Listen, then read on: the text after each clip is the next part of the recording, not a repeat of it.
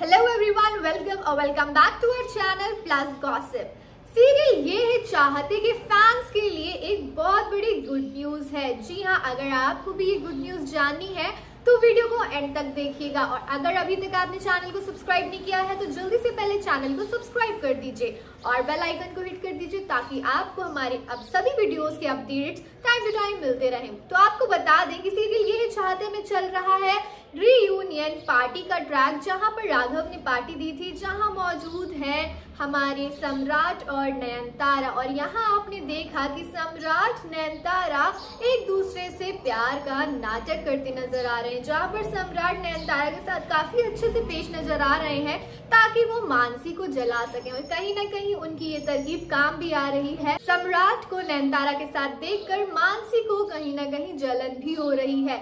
लेकिन अब आने वाले एपिसोड में आप देखने वाले हैं कि ये प्यार का नाटक सच होने वाला है। जी हाँ यही प्यार का नाटक करते करते अब सम्राट को नयनतारा से सच में प्यार होने वाला है।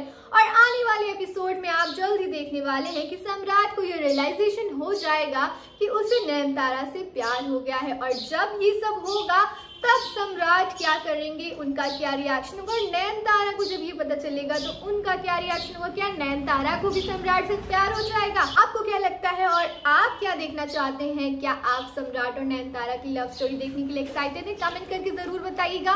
और ऐसी ही अपडेट्स के लिए हमारे चैनल प्लस को सब्सक्राइब करना बिल्कुल मत भूलिएगा।